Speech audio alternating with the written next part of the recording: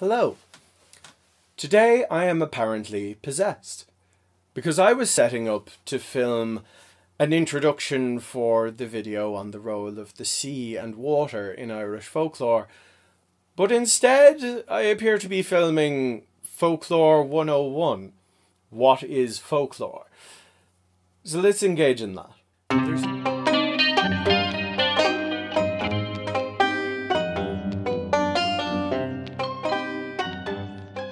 There's a misconception that all stories were written with the intention of teaching about cultural values, social values, even basic safety to children. Uh, this conception is false. It was it, it can largely be traced back to the Brothers Grimm, uh, who were disappointed with the lack of success in the first edition of their book, and so they completely reframed it in the idea that it was for the education of children. Uh, and it's basically a marketing gimmick that has just stuck around and people haven't completely dismissed yet. If you don't believe me, I want you to try something. I want you to try writing in the comments right now a story that has absolutely no indicators about your culture or the society you live in. That may seem challenging but doable at first. But let me clarify what that would actually mean. You can't describe your characters. Even if you only have one character, you can't describe that person. You can't describe their clothing. You can't describe what their clothing is made of. You can't even describe whether or not they have clothing. You can't describe whether or not they have a home. And even if you could, you wouldn't be able to describe what that home looked like, what it was made of. You can't describe any lo- geographical features. You can't talk about the weather. You can't talk about any local flora or fauna. You can't talk about any tools or implements or furniture or toys your characters may have, any possessions at all. You can't talk about gender. You can't talk about race. You can't talk about death. You can't talk about songs. You can't talk about other stories. You can't talk about music in general. You can't talk about any beliefs. You can't talk about anyone's relationship with each other. You can't use any pronouns. You can't write in any language or dialect that would would indicate where you live, what time period you live in, or your position in society. If that now sounds impossible, if it sounds impossible to write a story without including any of that, and honestly, a great other thing, great deal of other things that I've missed, then you see my point. It's impossible to write a story that does not indicate any information. It is impossible to write a story that does not teach in some way. Stories don't necessarily teach because they were formulated with the intention of teaching. Stories teach because they're stories. That is our first lesson. And it's also the point of studying folklore. A folklore obviously isn't just stories. Or maybe that's not so obvious. A lot of people seem to think it is. Folklore is the totality of all knowledge and information that is primarily passed down through oral tradition. So if in think about our own culture, our own culture today, most jokes would be passed down orally. Dad jokes would be passed down orally. If your mother teaches you to cook, that's been passed down orally If you learn martial arts, that's passed down orally. Anything passed down orally is oral tradition, and anything that's oral tradition is folklore. And we look at cultures that didn't have a written tradition. Ireland, for a long time, didn't really have much of a written tradition. Writing was mostly for the priests. It was mostly for small bits of communication. It wasn't really for teaching. And so uh, you would have architecture, how to build a house, uh, how to make a musical instrument, how to build a boat. Those things all would have been passed down orally, and so they all would have been folklore. Uh, there are two pitfalls people who did not study folklore academically as its own individual subject tend to fall into. And I call these the media pitfall and the history pitfall. The media pitfall is basically the people who studied film, uh, literature, theatre, creative writing, English, uh, that kind of thing. Uh, it's the pitfall they tend to fall into, and it's honestly the more dangerous one. Um, uh, the ideology, the the ideas about folklore that are taught in that field are largely based on the methodology of the Brothers Grimm, on people inspired by them. Uh, it follows on the ideas of Joseph Campbell, a lot of um, Carl Jung as well. And the reason I say those ideas are dangerous is the Brothers Grimm were hyper nationalist. Joseph Campbell um, is a mysticist, or was a mysticist, and was, I believe he was rumored to be an anti Semite, but his ideas, including the, the hero's journey, and perhaps especially the hero's journey, have a lot of racist underpinnings to them, and there's a lot of racist underpinnings in how he created the, those ideas.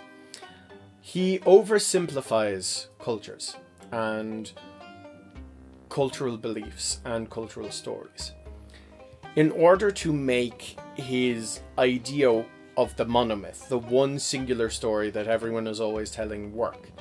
He had to flatten the stories of other cultures. He had to flatten the traditions of other cultures to force them to fit into the mold he was making. And to force them to fit into a primarily Western European mold. He had to alter other cultures to fit European cultures in order to make his ideas work. That is harmful, clearly. Uh, the Brothers Grimm, as I said, they were hyper nationalist they often distorted things to follow in their nation- nationalist ideals, and they built a lot of their methodology around enforcing those nationalist ideals. A lot of the lessons lessons taught in their stories are ones they inserted because they wanted to instill proper German behavior in the people who would read them and this is why they were so well beloved by the Nazis. And it is why they were so well used by the Hitler Youth. So that is dangerous. That viewpoint on that perspective on teaching folklore, it is dangerous socially and culturally. And as well as that, those ideas are massively outdated. They're not really taught in folklore anymore there I have a big problem with the media field. Um, I I have a very large problem with it. When it borrows from other disciplines, it does so badly and does not update the information. Nowhere near regularly enough. The other pitfall, the history pitfall, is approaching folklore from the perspective of a historian or an archaeologist. In those fields, you want more concrete facts. You want specific narratives taught, and you don't want those narratives changed unless there is very, very good reason for doing so, unless there is very legitimate sources backing that up. And that is good. In history, in archaeology, that is good. It is how we prevent things like Holocaust denial taking over. It's how we prevent things like um, the erasure of colonialism. Um, now, of course, it is also used in the other direction, but it's hard to get around that. You do need to keep some control over how the narratives are explained, and of course, that can be exploited by bad people when they get into power. It's hard to reconcile.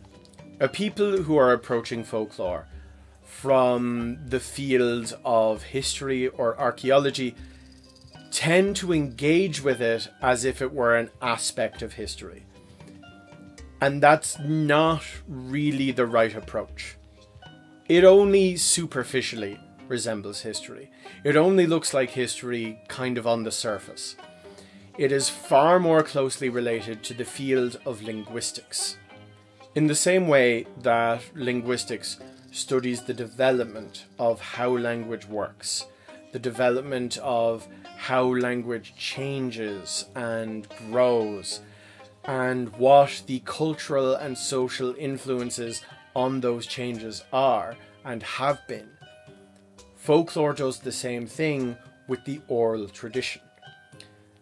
And in the same way that linguistics will watch language change in the present and talk about and postulate and make observations on what the social influences and cultural influences on what those changes might be. The study of folklore does the same thing with the oral tradition. We watch the changes as they happen and we talk about what may be causing them. And just as linguistics has very rarely attempted to create any kind of control on that development, has very rarely tried to influence that development, folklorists don't really attempt to influence the development of folklore. We don't really try to prevent it going in certain directions. We don't really try to prevent it changing. And the reason for that in both cases is that history is a series of established facts. And while our understanding of those facts and our evidence for those facts may change, the facts themselves are fairly solid and immutable. However, folklore and linguistics, the oral tradition and language, they are inherently changeable. And that is part of their life cycle the, literally the definition of folklore involves it being variable and changeable. Those are two of its primary ca- characteristics. And if you stop either language or folklore from changing, from developing, from going in new directions, you've killed it. You've stopped it. That is now a dead language. And in the case of folklore, that is now literature. It's no longer folklore you can't calcify folklore. You can't crystallize it. You can't mummify it and have it still be folklore. Folklore is communal and it is democratic. What the majority of people say the folklore of their time is, is what the folklore of their time is. Just like, just like with language, how the majority of people are using the language in that time is the correct version of the language in that time. Hey, uh, I'm, I'm editing at the moment, and I just want to clarify a couple of things. First of all, I mean the majority of people within the culture whose folklore is in question. Second of all, while we do look into the past in folklore, we're not looking for more authentic versions because that's not a thing we're looking for changes and we're looking for where that change came from. Change is the point of this field. antiquity does not equal authenticity. The older stuff is not more authentic than the newer stuff. It's just not. There are times when folklorists do need to step in.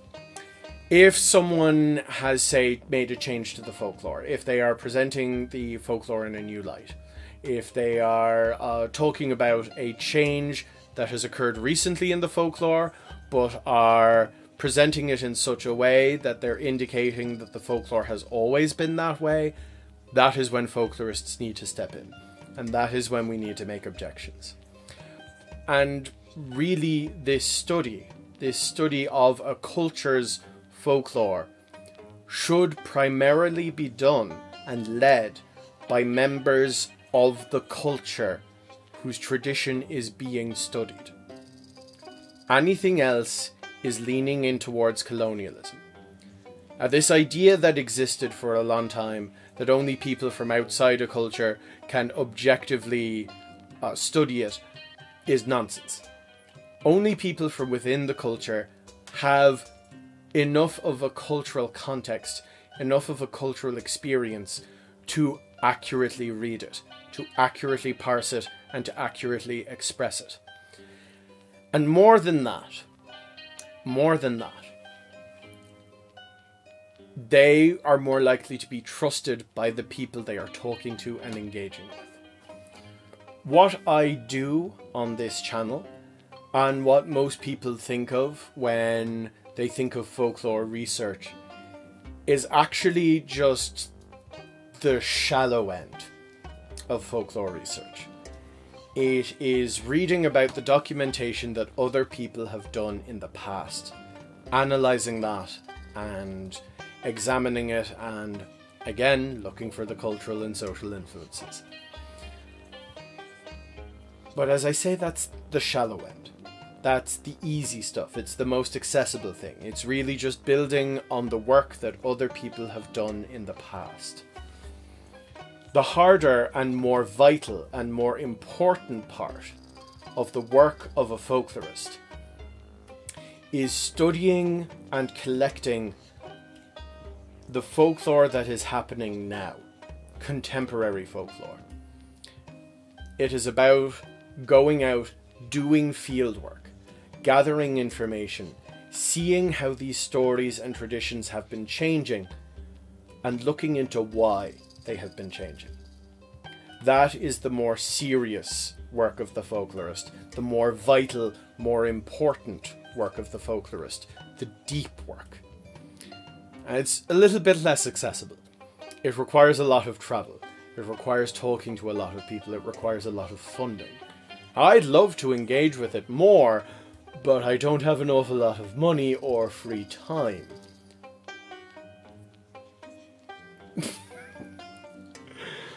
um, if I did have more money and free time, I'd be happy to do more of it and to report on it here. But if you are going to study folklore, you need to think about it like a folklorist. You can't think about it like a historian, you can't think about it like a filmmaker or a game designer or someone with a media degree. you have to think about it like a folklorist. You have to think about it in terms of documenting cultural change and growth. You have to think about it in terms of societal shifts, of changes in belief and changes in values, and how they influence the stories we tell, how they influence the traditions we maintain, what traditions we leave behind, how we alter our traditions. That is the study of folklore. It is not about pure documentation. It is not about enforcement of beliefs or enforcement of story types. It is about documentation and analysis and understanding our cultural perspective. Now, if you enjoyed this, please leave a like, please make a comment, please share it around. If enough people watch it and like it, I might make more of these. I might talk more about how folklore works. I think my next one would probably about be about uh, how the influence of the internet has accelerated folklore development quite dramatically and what constitutes modern folklore. If you enjoyed it, please let me know.